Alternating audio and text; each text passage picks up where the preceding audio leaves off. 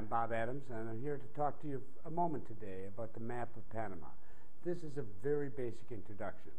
Some of you have just uh, begun to be interested in the country, you've seen a map or two, it doesn't really mean a lot to you. It takes a while to describe it all. I'm just going to start with something very, very simple and very basic today. A couple items that are occasionally asked of me in, in emails. Uh, what is this business about the Pacific Ocean being to the south, and what's a comarca? So let's go ahead and take a, a quick look at that map of Panama. Panama is in the Western Hemisphere. Most nations of this hemisphere think of the Atlantic Ocean as always being to the east and the Pacific to the west, not in Panama. You can see that Panama is a link between the north and south, but it turns east to make the connection. In Panama, the Atlantic is to the north and the Pacific to the south. We stretch from west to east. Costa Rica is to our west, not our north, and Colombia is to our east, not our south. Two common mistakes made by new arrivals. Here's a map of Panama that you may have seen several times already on the internet. Can you buy, rent, or build anywhere in Panama? No.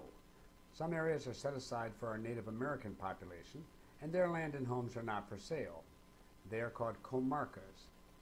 Here the comarcas are circled in blue, Ngobe Bugle to the northwest, Kuna Yala along the coast of the northeast, and Embra Unan in the east is divided into two sections.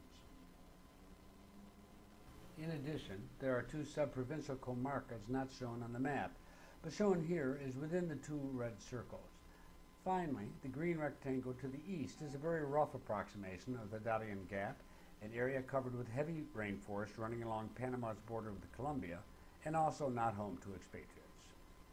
A friend helped me by whiting out the comarcas and making the Darien Gap gray so you can see the colored portions of the map which are available for your consideration as a home. The others can certainly be visited, and they should be. They are beautiful, just not available. And now we return to where we began, a view of the entire nation of Panama. This has been about as basic an introduction to the Panama map as possible. In the future, I will use maps to discuss areas of Panama where folks live now or may live in greater numbers in coming years. Until then, thank you for your kind attention.